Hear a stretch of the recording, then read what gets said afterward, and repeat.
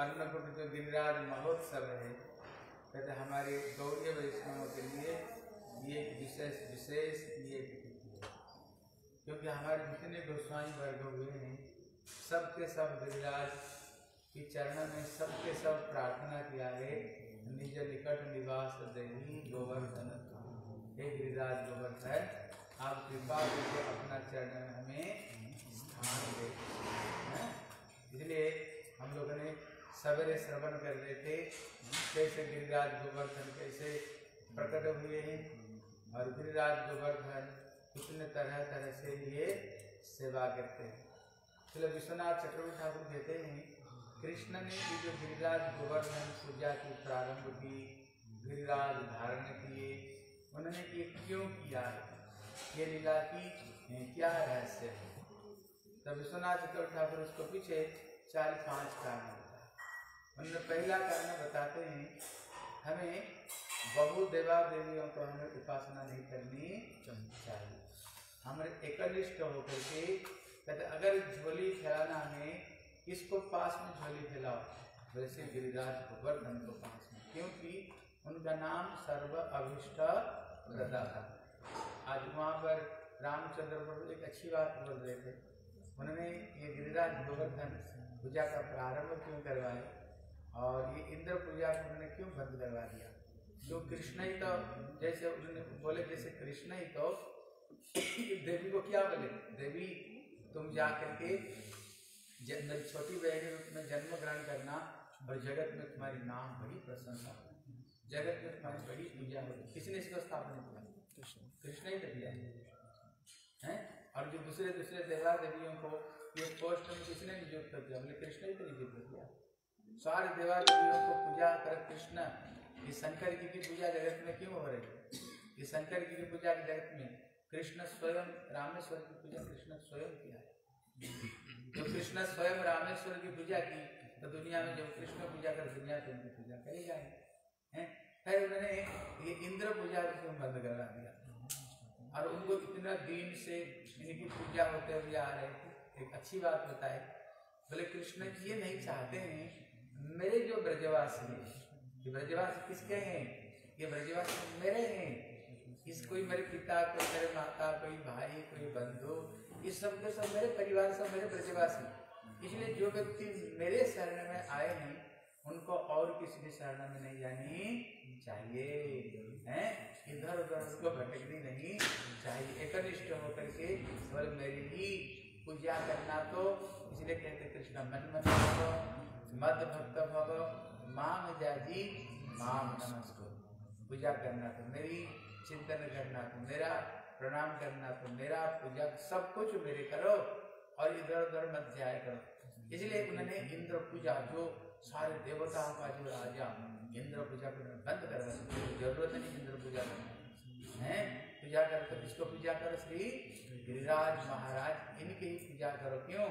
सबके सब फल, फूल झरना, पानी गैया घास खाते, कहाँ से खाते हैं? बोले, गिरिराज से मिलते। मेघ आकर टकराता है, गिरिराज में। टकरा करके ये बारिश होती है, ये इंद्र कुछ करने वाले नहीं, देने वाले नहीं, हैं? इसलिए पूजा करो तो गिरिराज गोवर्धन की पूजा करो। इसलिए जो ब्रज रज है, हैं? एक ब्रज रज में इतने शक्ति है कितने ऐसे इंद्र, चंद्र, स्वर्ग को ये प्रकट कर सकता है एक ब्रज रज में इतने शक्ति और ये इंद्र हैं, और तुम लोग इंद्र पूजा कर रहे हो। इसलिए पूजा करो तो श्री गिरिराज गोवर्धन की पूजा करो। वहाँ श्री गिरिराज सब कुछ देने वाले श्री गिरिराज गोवर्धन, ये पहला कारण दूसरा कारण बताए, अभी इंद्र का हो गया अभिमान। क्या अभिमान? है अगर मैं बारिश नहीं बरसाऊँगा तो घास नहीं उगेगा। घास नहीं उगा तो गैया कहाँ से घास खाएँगे? घास नहीं खाएँगे तो दूध कहाँ से देंगे?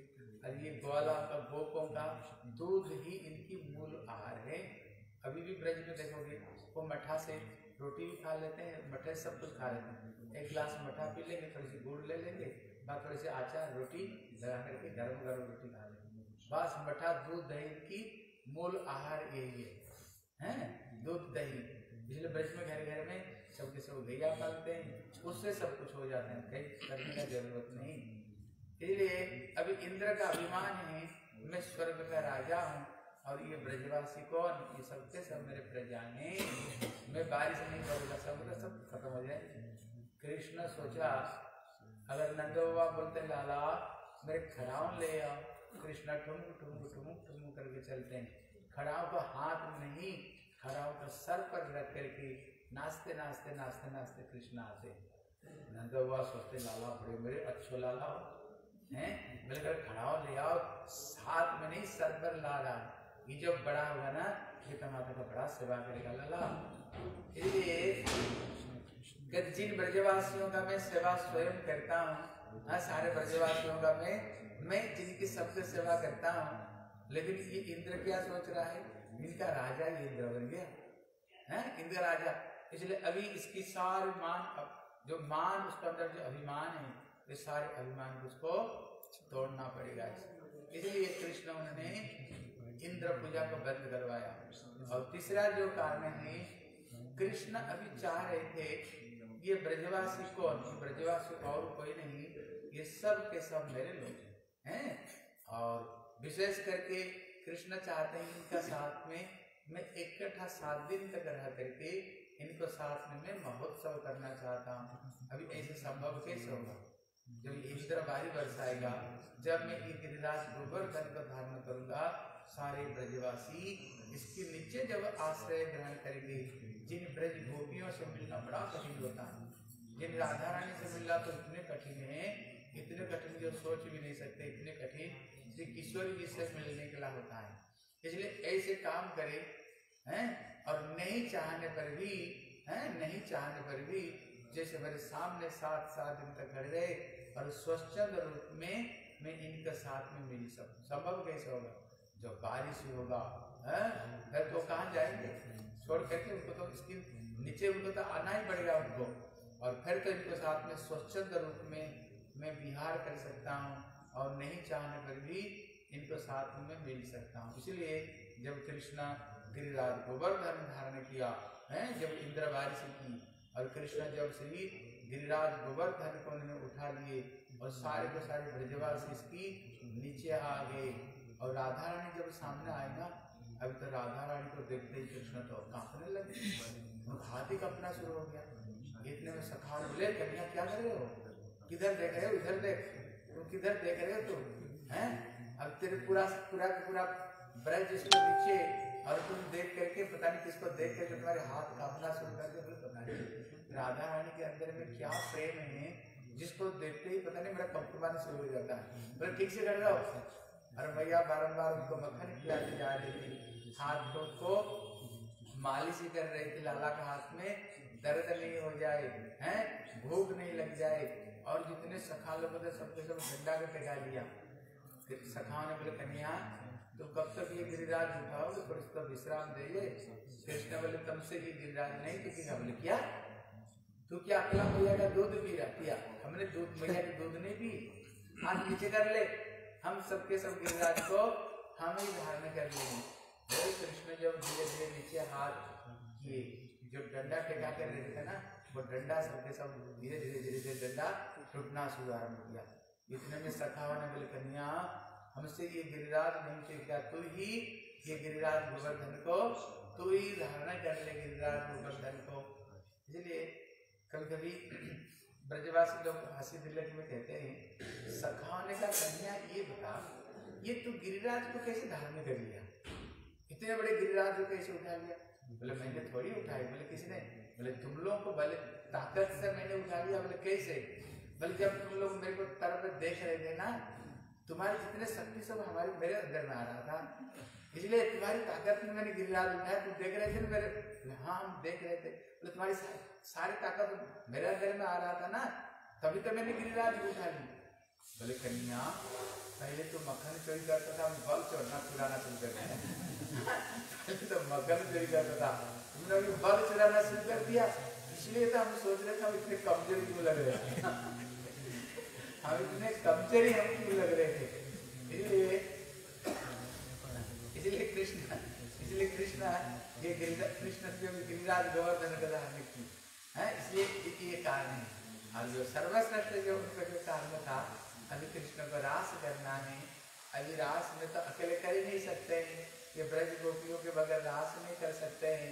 इसलिए कृष्ण अभी सोच रहे हैं अभी जब तक ब्रज गोपियों को आकर्षण ना, ना नहीं करे वो रास कैसे करेंगे, इसलिए उन्होंने इसके लिए दो लीला की है एक तो काली के सर के ऊपर उसने नृत्य की और नृत्य करते हुए दिखाया, देखो बड़े बड़े कलाकार देखे होंगे।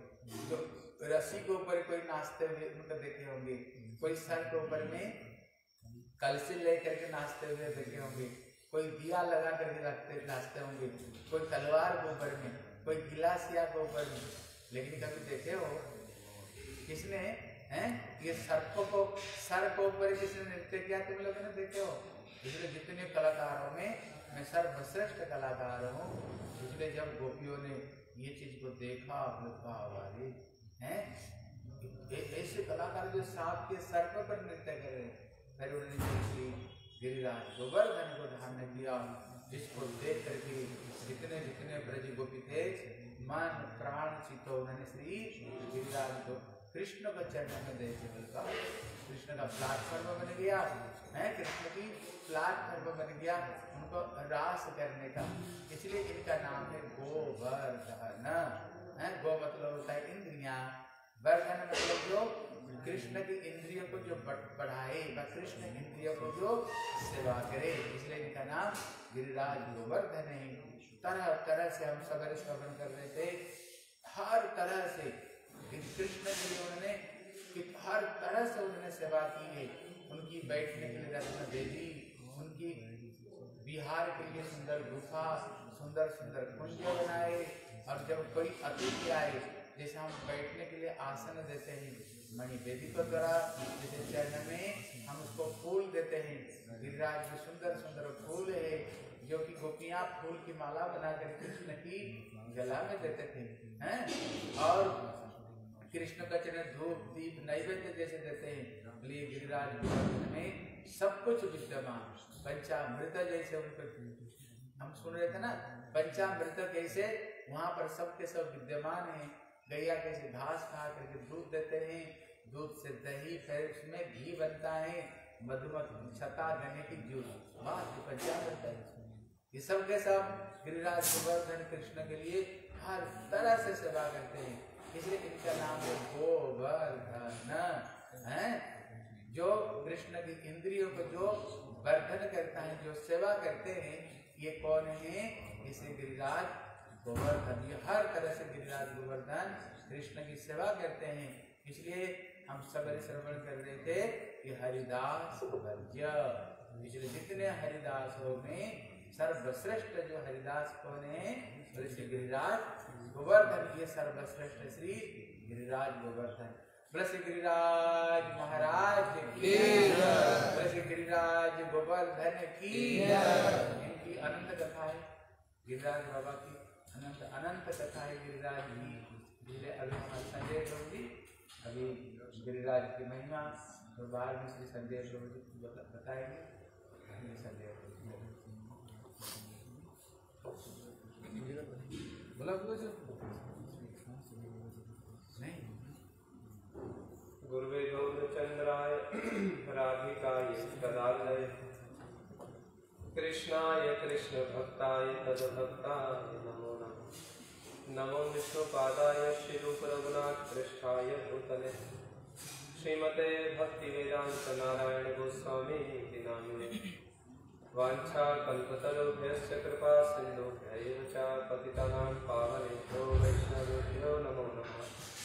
जय रूप सनातन भट्ट रघुनाथ श्री जीव गोपाल भट्ट रघुनाथ जय गोसाई करी चरण वंदन। जहाँ विघ्ननाशविष्ट पुरन।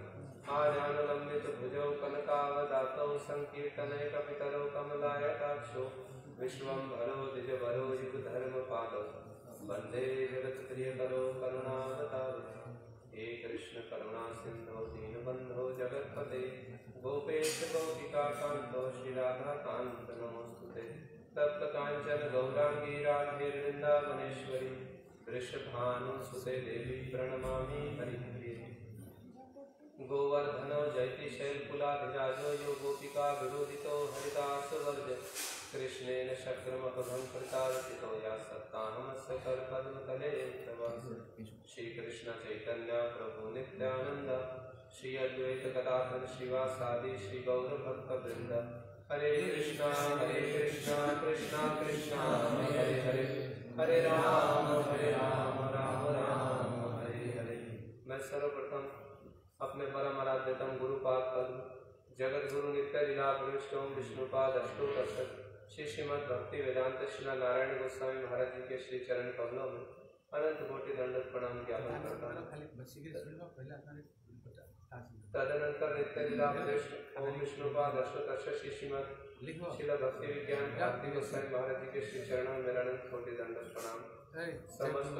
गुरु परंपरा प्रणाम। सिद्धांत सरस्वती गोस्वामी ठाकुर जयुक्त हो। सपास सबरिकर श्री गौर नित्यानंद प्रभु जयित उपस्थित भक्ति वेदांत श्रीधर महाराज जी में समागत वैष्णव, वैष्णवी, ब्रह्मचारी वृंद सबके चरणों में मेरा योग दंडक प्रणाम आज एक बड़ा विशेष दिवस है। हम लोग प्रातः काल से ही श्री गिरिराज गोवर्धन की अशेष महिमा का कुछ अंश हम लोग श्रवण कर रहे हैं। आज का दिन श्री गुरुपाद पद्म की अत्यंत मधुर स्मृतियों से परिपूर्ण है। गुरु महाराज जी बड़े ही विशेष उत्साह के साथ में गिरिराज जी के तट पर, गिरिराज जी की तलहटी में जहाँ उन्होंने श्री रूप रघुनाथ जी के अनुगत्य में, श्री रूप रघुनाथ जी का अनुसरण करते हुए अपनी सुगंभीर भजन लीला प्रकाशित की थी। उसे श्री गिरधारी गौड़िया मठ में ही गुरु महाराज जी बड़े ही विशेष उत्साह के साथ, बड़े ही अभिनव उपायों से सभी भक्तों को अत्यंत उत्साह देते हुए गुरु महाराज जी उत्सव को मनाया करते थे।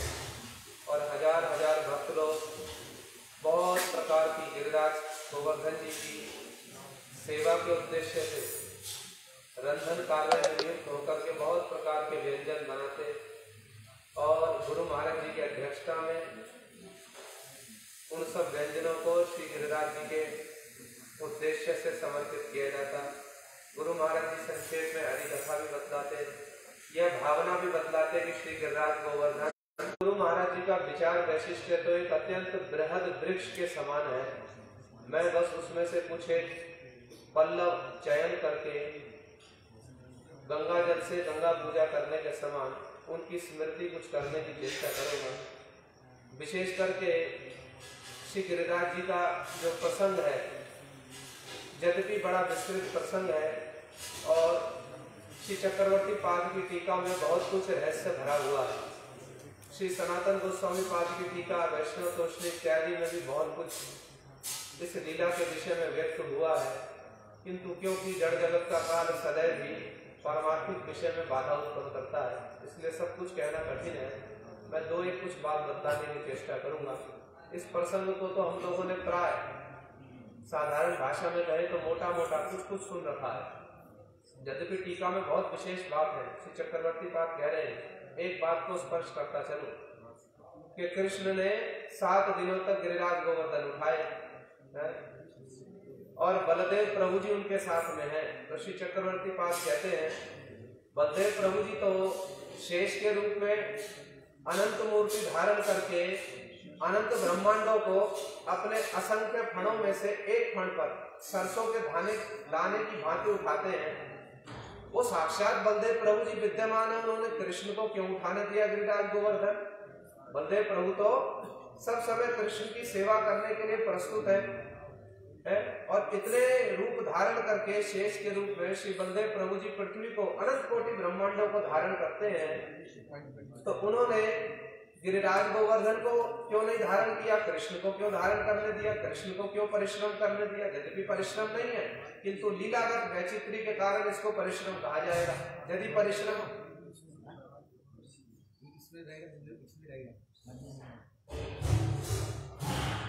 यदि परिश्रम नहीं होता तो जशोदा मैया क्यों उनको माखन खिलाती? यदि परिश्रम नहीं होता तो क्यों यशोदा मैया उनके अंगों को सहलाती कि मेरे लाला को कष्ट हो रहा है? तो लीलागत वैचित्री से इसको परिश्रम कहा जाए तो श्री चक्रवर्ती पाद कहते, क्यों इतना परिश्रम करने दिया? बलदेव प्रभु जी वहाँ साक्षात विद्यमान। तो श्री चक्रवर्ती पाद की जो विशेष भाषा शैली है, वो ये है कि वो पहले तो प्रश्न उठाते हैं, क्योंकि हमारे मन में तो ऐसे प्रश्न जागृत नहीं हुए और उसके पश्चात वो उत्तर देते हैं। इसलिए उनका भाषा वैशिष्ट है, बड़ा ही सहज सरल सहज सरल और बोध बोधगम्य हो जाता है। समझ में आता है। प्रश्न उठाते हैं, उत्तर देते हैं। तो श्री बल श्री चक्रवर्ती पाद उत्तर दे रहे हैं कि श्री बलदेव प्रभु ने क्यों नहीं उठाया गिरिराज जी को? तो वो कहते हैं, कृष्ण के मन का संकल्प था कि मैं स्वयं इंद्र का जो यज्ञ है उसको भंग करूँगा और गिरिराज जी गोवर्धन का जो यज्ञ है उसका परिवर्तन करूँगा।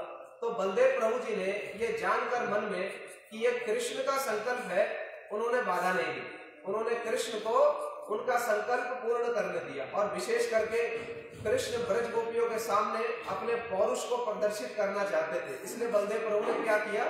उन्होंने ये सेवा कृष्ण से नहीं की। उन्होंने कृष्ण को गिरिराज को धारण करने दिया। तो ऐसे बड़े सुंदर सुंदर रहस्य टीकाओं में विद्यमान है, किंतु उन सबको तो कहने सुनने का समय नहीं है इस प्रसंग को हमने सुना भी है कुछ कुछ गुरुपाद पर्व के मुख से तो प्रत्येक वर्ष ही हम लोग श्रवण करते थे। विशेषकर ये गिरिराज गोवर्धन की महिमा क्या है? इसको शिला प्रभुपाद भक्ति सिद्धांत सरस्वती गोस्वामी ठाकुर जी के विचार वैशिष्ट के आलोक में हम लोग कुछ जाने, कुछ समझे।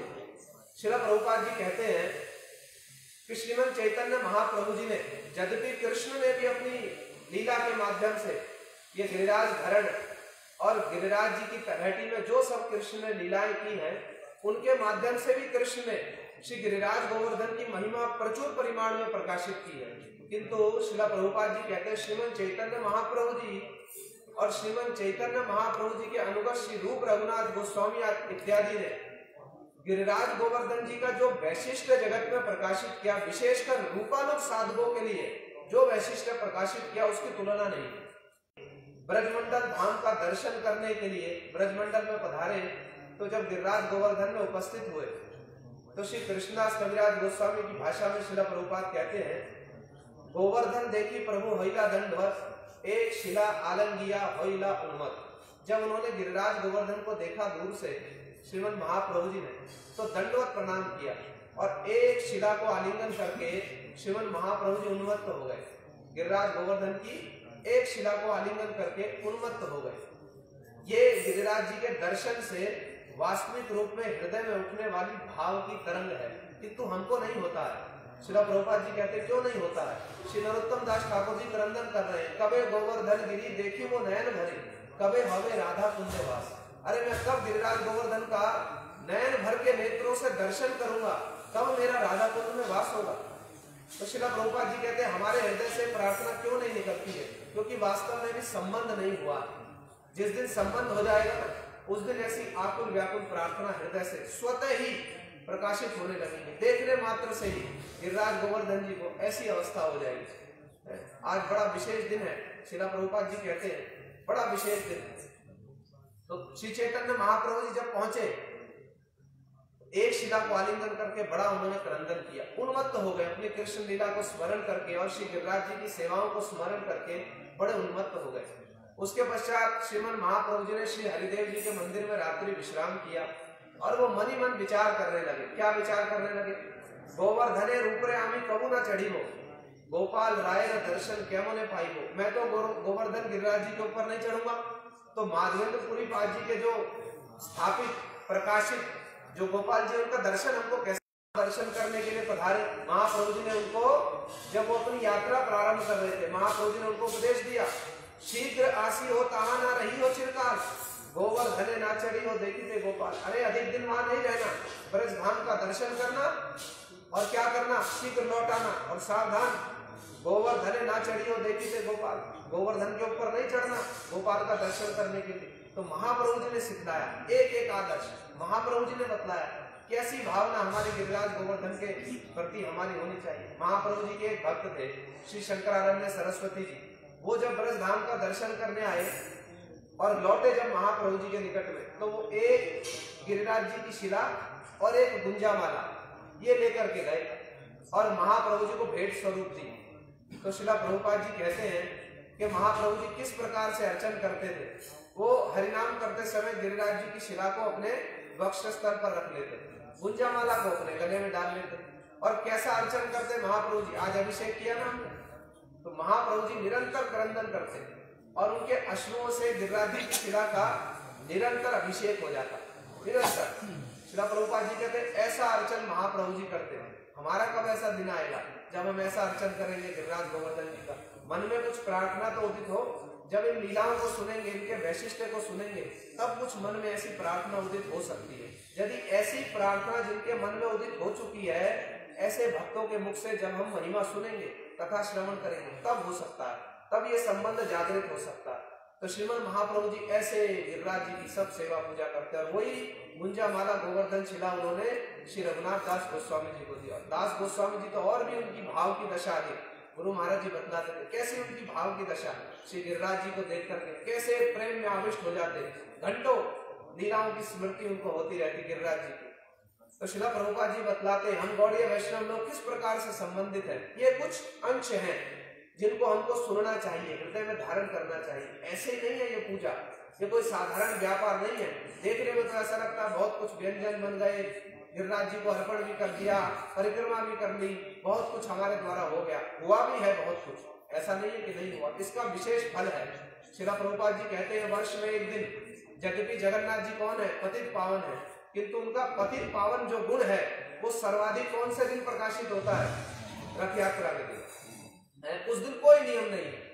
जो जहाँ से जगन्नाथ जी को भोग अर्पण करेगा, जगन्नाथ जी वैसे उसकी भावना अनुसार स्वीकार कर लेंगे। तो शिला प्रभुपाद कहते गिरिराज गोवर्धन जी भी कौन है? सर्व अभिष्ट प्रदाता। किंतु उनका सर्व अभिष्ट प्रदाता रूपी जो गुण है, वो सर्वाधिक किस दिन प्रकाशित है? जब कृष्ण ने गिरिराज जी धारण किया, या अन्नकूट महोत्सव किया, है? उस दिन वो विशेष कृपालु हो जाते हैं। जैसे नवदीप धाम है ना, विशेष कृपालु है। जय जय नवदीप सर्व धाम सार। समस्त धामों का सार जो नवदीप, धाम विशेष कृपालु किंतु गौर पूर्णिमा के दिन उस धाम की शोभा, वो धाम भी स्वयं प्रफुल्लित है ना? अपने इष्ट की सेवा करके। ऐसे ही गिरिराज गोवर्धन भी प्रफुल्लित है अपने इष्ट की सेवा करके। कैसे सेवा करके? गिरिराज गोवर्धन इष्ट की सेवा कर रहे हैं।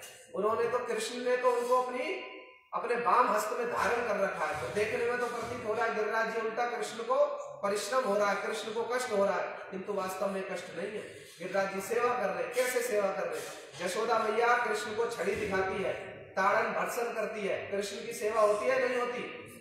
होती है? या नहीं होती? गोपियाँ कृष्ण से अपने चरण दबाती हैं। कृष्ण की सेवा होती है, नहीं होती? सखा लोग कृष्ण को पकड़कर पटक देते हैं, अखाड़े में। उससे कृष्ण की सेवा होती है, नहीं होती? होती है। समझने की बात। साधारण दृष्टिकोण से देखेंगे समझ में नहीं आएगा। किंतु भीतर में जब प्रवेश करेंगे ना, भाव राज्य में, तब समझ में आएगा। अरे, ये तो बड़ी विशेष सेवा है। यशोदा मैया कृष्ण को जब छड़ी दिखा रही है, ये बड़ी विशेष सेवा कृष्ण की हो रही है?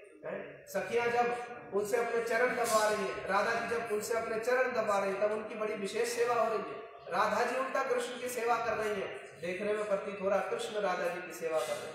ये सब विचार है। तो इसलिए गिरिराज गोवर्धन जी अपने इष्ट की सेवा करके कृष्ण ने उनको अपने बाम हस्त पर कनिष्ठ उंगली में धारण कर रखा है और उसी धारण के फलस्वरूप सब ब्रजवासी लोग एकत्रित हैं। कृष्ण को अपना पौरुष प्रदर्शित करने का अवसर मिल रहा है। गिरिराज जी कृष्ण की श्रृंगार रस की लीला में उनके सहायक बन रहे हैं, उनके उपाय उपाय बन रहे हैं। इसलिए बड़ी विशेष सेवा कर रहे हैं गिरिराज जी। ये साधारण विचार नहीं है, बहुत उन्नत विचार है। श्रृंगार रस की सेवा में बड़े उपायन बन रहे हैं। कृष्ण क्यों प्रसन्न हो गए?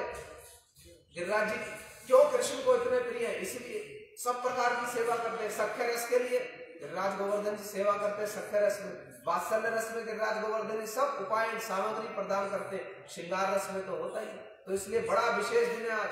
तो इसलिए प्रभुपाद जी कहते हैं, हमारे गुरु महाराज जी कह रहे हैं, आज के दिन उनकी कृपा बड़े प्रचुर रूप में वर्षण होती है इसलिए हमको बड़े मन के साथ में ये तो सब बाह्य अनुष्ठान हुआ। इस बाह्य अनुष्ठान के साथ में यदि आंतरिक भावना जुड़ जाए तब तो इस ये, अनुष्ठान क्या है? ये सोने में सुहागा जैसे। यद्यपि इसकी उपमा नहीं है किंतु गुरु महाराज जी कहते हैं और वो प्रत्येक वर्ष ही कहते थे इस बाह्य अनुष्ठान के साथ में आंतरिक भावना को भी जोड़ दो।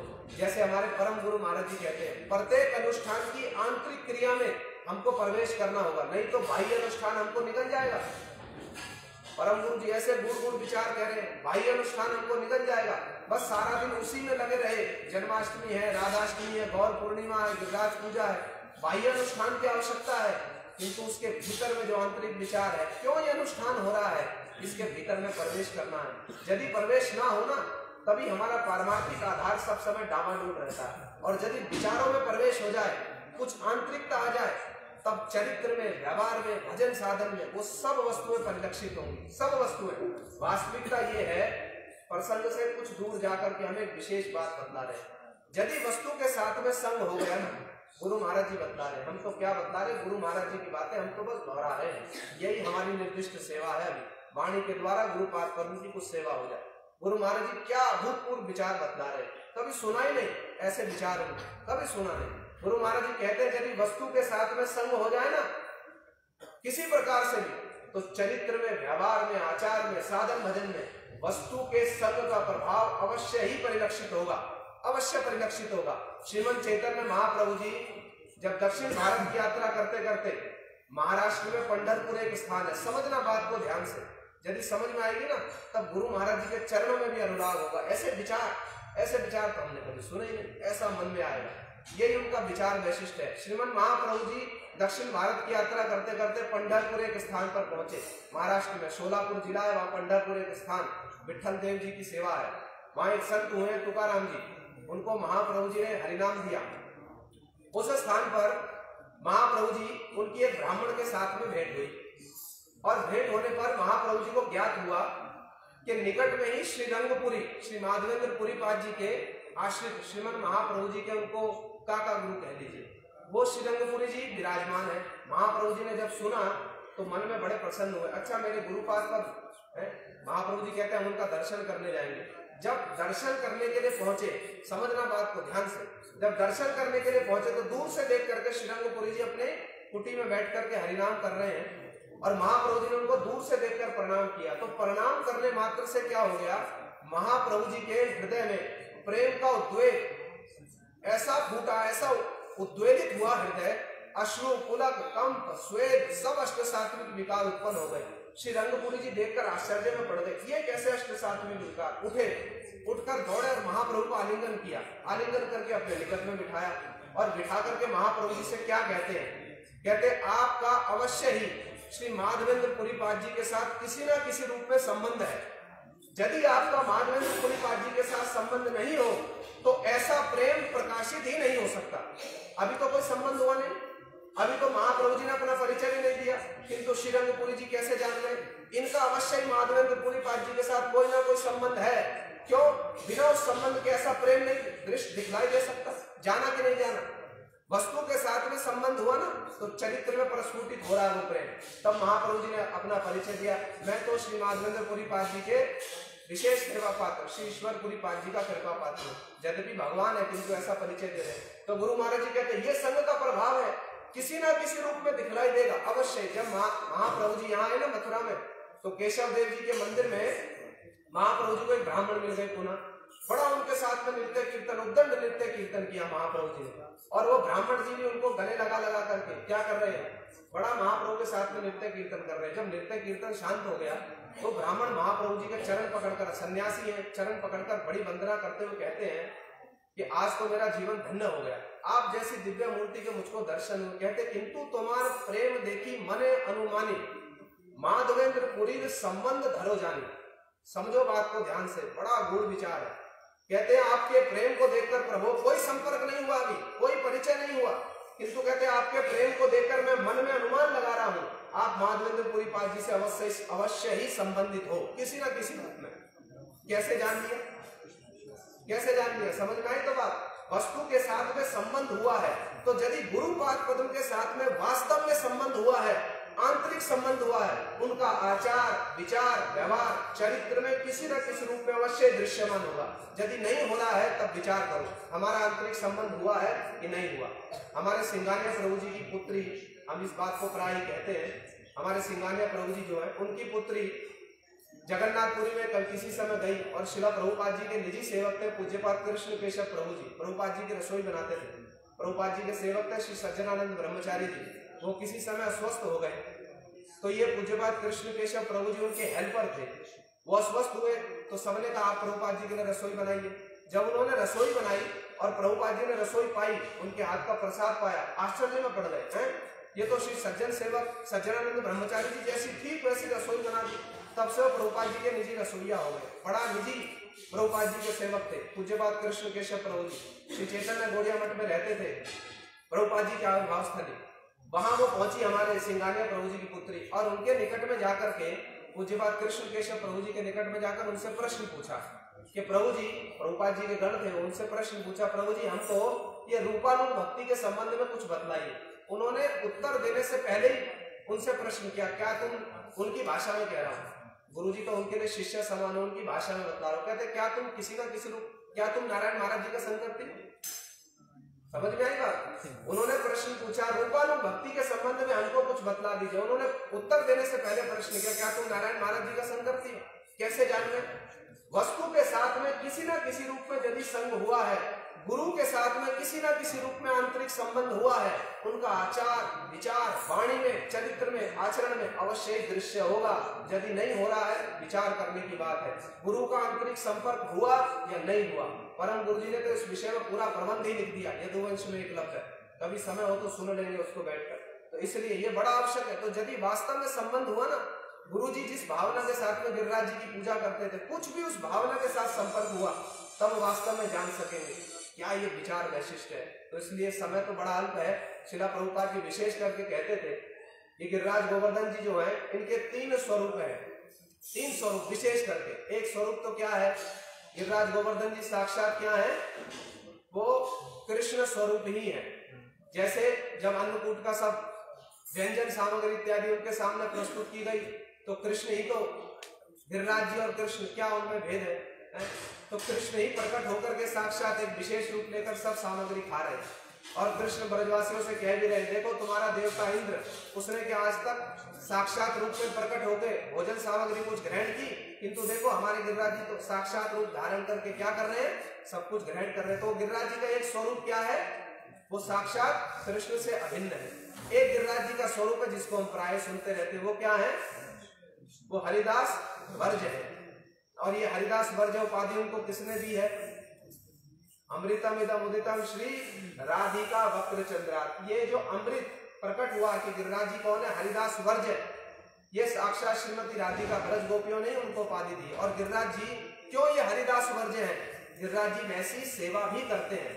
श्री रघुनाथ दास गोस्वामी जी कह रहे ना, स्थल, जल, तल, शस्त्र, गुरु छाया प्रतिपदम अनुकालम हंत संवर्धयन त्रिजगति निज गोत्रम सार्थकम ख्यापयन में निज निकट निवासम दे गोवर धन तो गिरिराज गोवर्धन जी स्थल देते हैं तल देते हैं जल देते हैं छाया देते हैं सब प्रकार से सेवा करके क्या कर रहे हैं त्रिजगति निज गोत्रम सार्थकम ख्यापयन त्रिजगत में निज गोत्र क्या गोत्र है गोवर्धन गोवर्धन का अर्थ क्या है गो गोपी गैया सबका वर्धन करने वाले अपनी इस गोत्र को जो उनकी ये गोत्र है ना त्रिजगत निज गोत्र सार्थकम ख्यापयन जो सार्थक कर रहे हैं, त्रिभुवन में।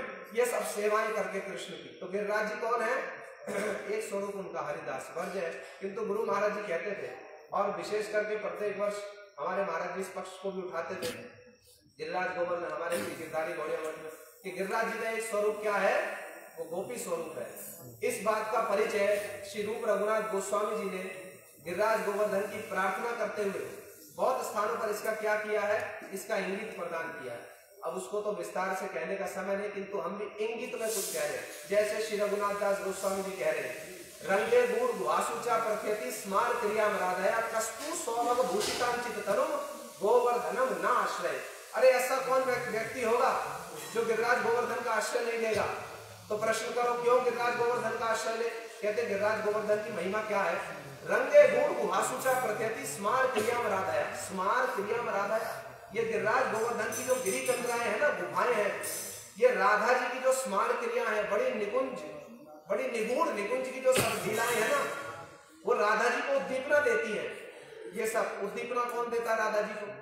कृष्ण के साथ जो राधा जी की लीला है, उसमें उद्दीपना कौन देता है? ललिता, विशाखा इत्यादि। राधा जी को सब प्रकार से शिक्षा देती है। तो श्री रघुनाथ दास गोस्वामी इंगित में बतला रहे, रंगे गुड़ गुहासुचा जिनकी गुफा कंदराओं में श्रीमती राधिका कृष्ण के साथ में बड़ी निगूढ़ लीलाएँ संपादित करती है। ऐसे श्री रूप गोस्वामी जी कह रहे हैं, गाँव धरवाया सूरत कल हो दामता भाव दूत है। जो श्रीमती राधिका की, सब प्रकार की निकुंज की लीलाओं में, जो राधा जी कृष्ण को संतुष्ट करती है, उन सब सेवा, उन सब लीलाओं में श्री गिरिराज गोवर्धन जी जो है, वो राधा जी की राधा जी को उपायन राधा जी को सामग्री देकर कृष्ण सेवा में उनकी सहायता करते तो गुरु महाराज जी कहते थे इस बात को, बिना गोपी देह के, बिना गोपी स्वरूप के राधा कृष्ण की निकुंज की लीलाओं में कोई उनकी सेवा नहीं कर सकता है। इसलिए गिरिराज जी का एक बड़ा ही मधुर गोपी स्वरूप भी है। तो हम गौड़ीय वैष्णव लोग तो गिरिराज जी के चरणों में किस रूप में प्रार्थना करते हैं? यद्यपि एक बाह्य रूप है। गिरिराज जी क्या है? हरिदास वर्ज हम प्राय इसी रूप में आराधना करते हैं। जैसे गुरु की आराधना में क्या होती है? आरंभ में तो हम गुरु जी के दास हैं, इसी रूप में तो होती है ना। किंतु गुरु जी का स्वरूप तो जैसे जैसे शिष्य का अधिकार बढ़ेगा वैसे वैसे गुरु जी का स्वरूप प्रकाशित होगा। संसार, दावा, नल ढिलो का ये भी गुरु का एक स्वरूप है।